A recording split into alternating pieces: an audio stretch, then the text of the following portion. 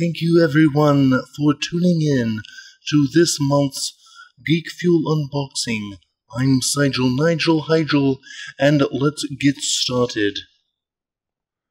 The, oh, look at that, he learned from the last time, making sure those flaps are firmly put down. The first item we have, we found out, we had our experts look into it. It is a Steam game. So far, that is two Steam games in the last unboxings. We've got a postcard from Uncharted 4. Very valuable. Love to see those on the market. Maybe $15 a piece. Um, here it looks like he's in the Amazon or some other jungle area. We have a Deadpool. Uh, looks like a little figure. He's struggling. Oh, oh, wait, wait. Did he remember the scissors? Did he get. Oh, he did!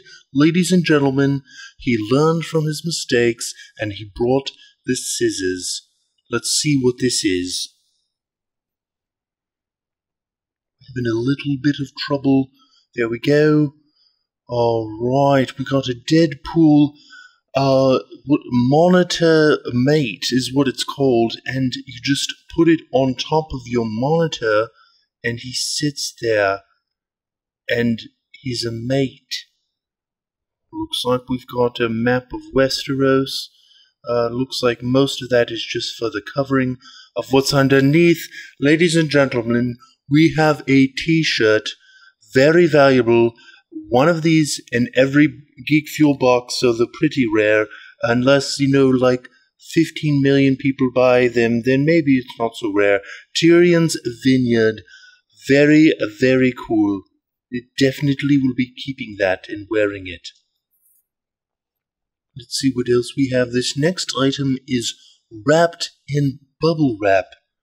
What could that be, ladies and gentlemen? What indeed? It is indeed a Geek Fuel cup. Very, very nice.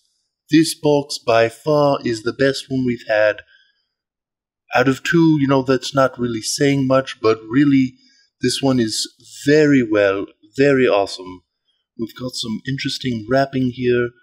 Um, the uh, the contestant is struggling with the wrapping. Uh, turns out he's he's rather stupid. All he has to do is just untie it. Oh, we'll, we'll, this is only his second one, folks. We'll give him another chance. Let's see what we've got here. Looks like a chest. Ooh, a chest from Uncharted, perhaps. I think, ladies and gentlemen, that is the Sir Francis Drake ring, and it comes with a leather bracelet or necklace, perhaps, uh, that you can write it down. I do not know what it says. Uh, it's in Latin. Mm, looks really valuable only probably one of these. This is probably the only one that got that in the Geek Fuel box. But so very, very kind of Geek Fuel to give our contestant the only ring that uh, that is Sir Francis Drake's. And we've got a magazine here. Uh, this is a X Men, but it's got a bunch of other things in it. He has yet, oh yes, X Men Apocalypse. Very, very interesting and cool. And we've got a Deadpool poster. If anyone recognizes, this is from the Deadpool movie when he is getting ready to kill um, the spoilers. And it's limited edition, awesome stuff. And all, as always, the Geek Fuel awesome people put in a list of things that you can buy in case you weren't sure.